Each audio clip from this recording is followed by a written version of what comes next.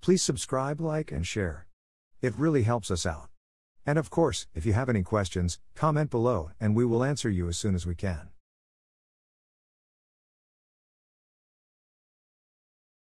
Welcome to our series on IGCSE English as a second language exam preparation.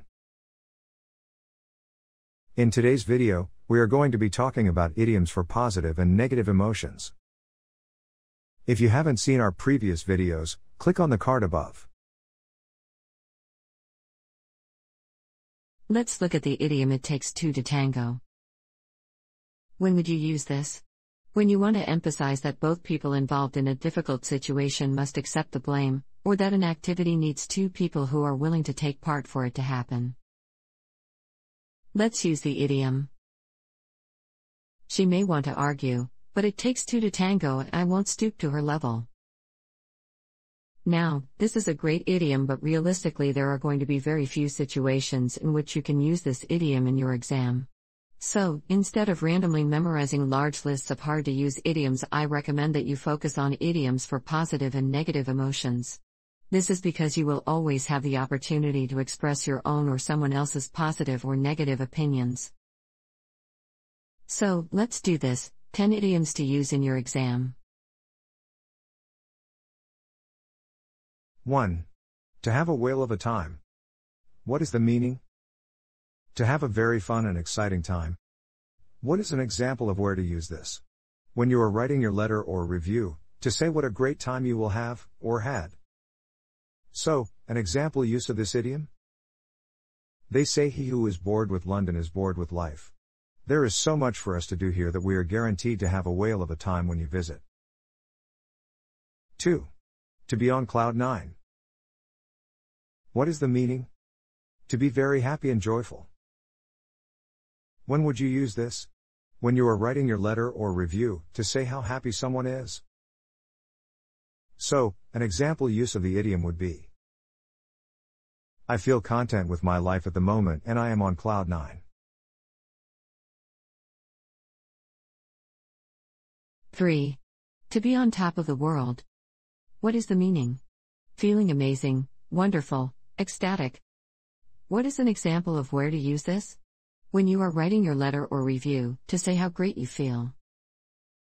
An example use of this idiom when I look at my absolute favorite piece of art, Starry Night by Vincent van Gogh, I feel inspired and on top of the world. It shows me true beauty and that I believe is why art is so popular. 4. To be over the moon. What is the meaning?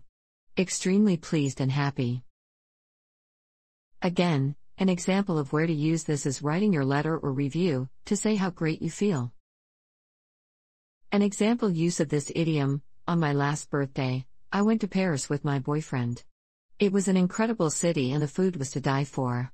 The trip was actually a surprise, and when my boyfriend told me I was over the moon. 5. To be like a dog with two tails? What is the meaning? Dogs express happiness through wagging their tails. Therefore, a dog with two tails must be very happy. This is the last positive idiom for today and is used to express your joy. An example use of this idiom. My best friend is called Matthew. We have known each other since we were children. Every time I see him, I'm like a dog with two tails.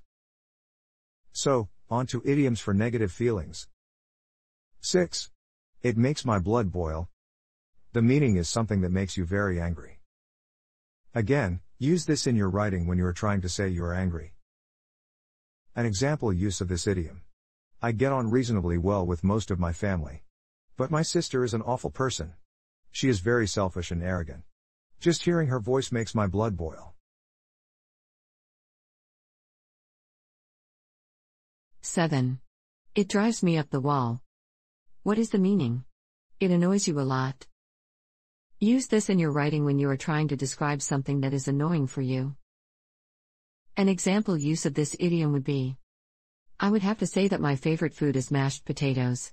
However, it drives me up the wall when people don't mash them properly and the potatoes have disgusting lumps. Similar expressions would be It drives me crazy, Or, it drives me nuts. 8. I hit the ceiling. What is the meaning? To get very angry and upset. Use this when you are trying to say you got very angry. An example use of this idiom would be As a child, my hobby was always cycling. I used to ride my bike everywhere I could. One day, though, my sister borrowed my bike and crashed it. I hit the ceiling, but luckily the damage was not too bad. A similar expression would be I hit the roof. 9. He or it winds me up. What is the meaning?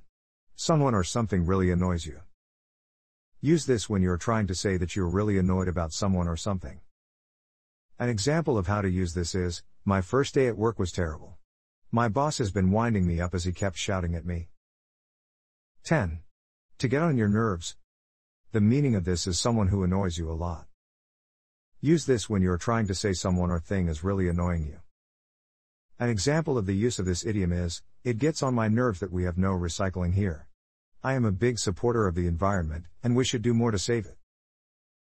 Some general tips for you be careful with the idioms that use irregular verbs. If you use it in another tense, you will need to conjugate the verb.